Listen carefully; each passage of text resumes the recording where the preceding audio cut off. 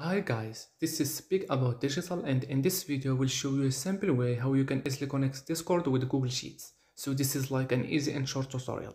What you want to do is just scroll down below on this video to the description and click on the link. Then you are gonna come across to this page, Make. And Make is a powerful integration platform that would allow you to connect different apps without having to write a single line of code. Make integrates with over 1000 apps and services.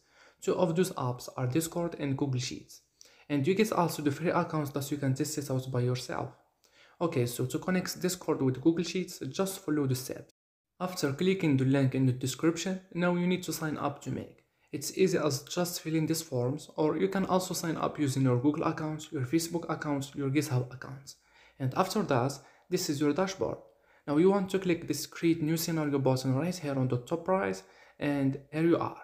Click the plus symbol and just search for the apps that you want to connect let's say Google Sheets or you want to add Discord first. That's completely up to you. And as you can see, each application usually has different kinds of modules inside of it because you can do different things with those applications. Post a message with the file, send a message, get a message, so you can simply choose which one you want. I'm gonna go with watch channel messages. So this is also specified down here what kind of module is. Then you need to connect it with your account here and after that click the plus icon here and now you want to add another major module and add Google Sheets and let's say you want to add a row, update a row, get a cell, update a cell so you will choose which action you actually want here. I'm gonna go with add a row then you need to connect it with your account here. So this is like every time a new message is posted on your Discord channel, Make will automatically add that message to your Google Sheets spreadsheet as a new row. On the bottom left, you can easily run it once and test it out. On the bottom, you can save it. Over here, you find templates. I find this a really cool place to get some inspiration of what is possible.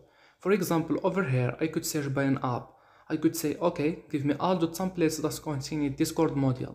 Down here, you see all kinds of things that are possible. You can use them as they are or customize them to suit your needs. Other than that, you can just click help, customer support, then you can contact the make customer support with technical issues scenario and you could paste the URL of your scenario if you need any help from them. You can also watch my make tutorial on my YouTube channel. And that's it. So hopefully this video helped you out. If it did, you can click the like, that helps a lot. Thank you. So thank you very much guys for watching and bye bye.